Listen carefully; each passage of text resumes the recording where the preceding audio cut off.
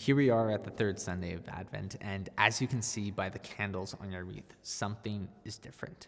We have a pink candle to light, and most priests would tell you that we don't have pink candles in our liturgical year. We, it's, it's rose, which, as my mother always reminds me, is French for pink. So, this third Sunday is special. It is known as Gaudete Sunday, and Gaudete is Latin for rejoice. And the church gives us this break in the traditional penitential season of Advent to stop and think about what is about to happen. We are about to receive our Savior, and this is cause for great rejoicing. As you read in the second reading of this Sunday Mass, it says, Rejoice in the Lord always. Again, I say, rejoice, for the Lord is near at hand. The cause for this rejoicing is our anticipation of what is about to happen.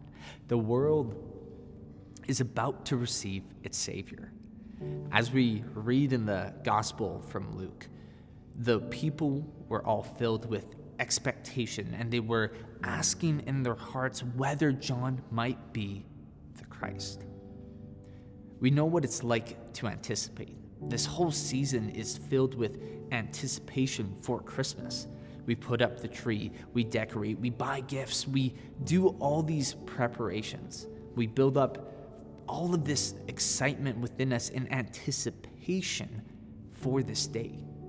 Now, this is a beautiful part of our culture, but unfortunately, we can get caught up in the Christmas music, the hot chocolate, and the, the fun of the season and we all too easily lose sight of what this season is meant to be.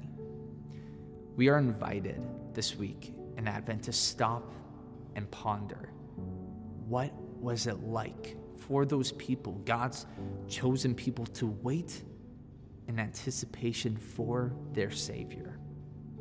How long had the people of Israel longed for the Messiah? Their, their hope in a Savior had to be sustained through century upon century as they held on to the promise of God that one day He would deliver His people.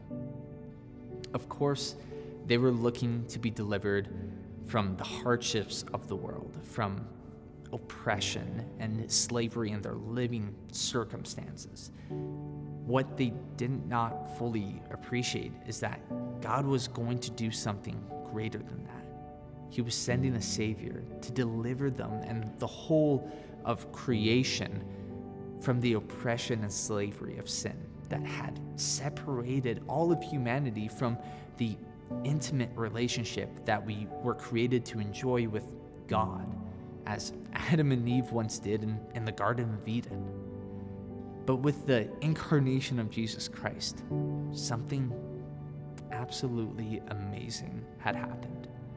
The entire order of creation had been set back toward the reconciliation of man to God through the new Adam and the new Eve. This is the kind of amazing that should blow our minds away.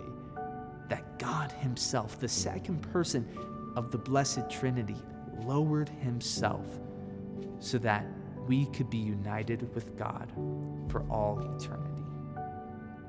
God did not just send a Savior, He became our Savior. Have we become dull to this uh, amazing gift? Because we're just so used to knowing that Jesus came to save us. What if Jesus had not bec- become man? What if we had been left in sin and error pining? What if we had been left in darkness? Thank God we don't have to know what the world would be like without Jesus because Jesus did come to us over 2,000 years ago, and his light has forever overcome the darkness.